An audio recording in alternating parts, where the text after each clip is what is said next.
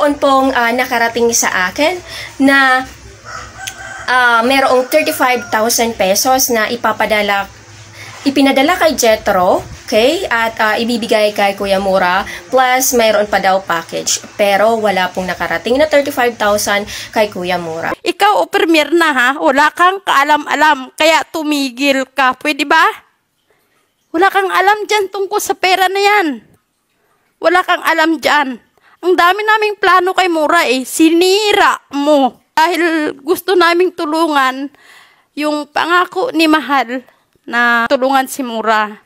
Mayroon pa nga eh, si Day Grace, si Grace Madarico, nangako na buong bubong, bubong ng bahay ni Mura, siya ang bibili.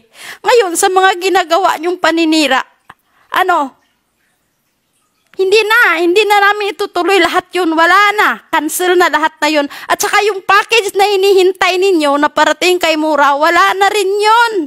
Cancel na yun. Lahat, wala na. Kayo na lang. Kayo naman magaling eh. Kayo na lang. Kaya kung pwede lang ha, huwag niyong tirahin si Megs, huwag niyong tirahin si Tajet. Kasi hindi sila nanghingi sa amin. Kusang loob namin yun.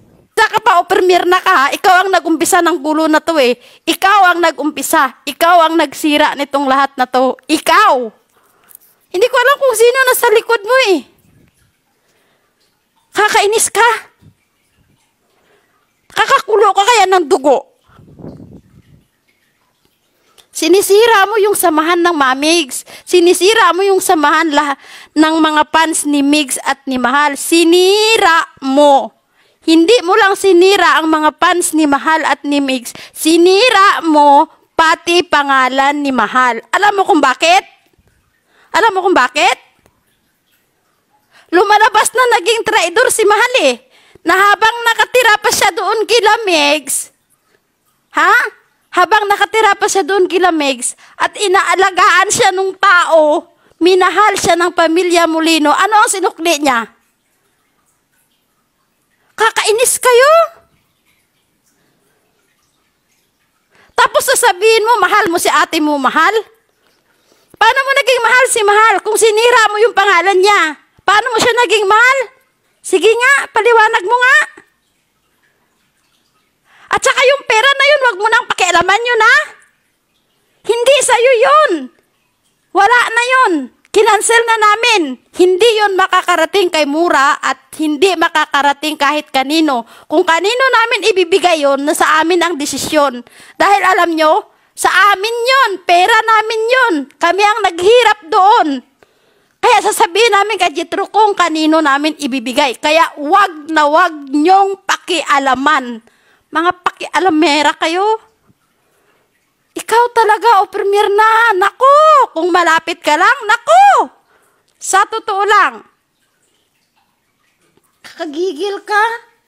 Nakaka-high blood ka eh. Ayaw mong tumigil. Ngayon, imbis na yung kasamahan namin, eh magpapagawa, bibili ng yero ng buong bahay ni, ni Mura para mapalitan yung yero. Wala na, cancel na rin. Wala na.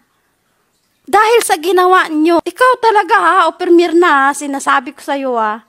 Ikaw, ikaw ang nagumpisa ng gulo na to.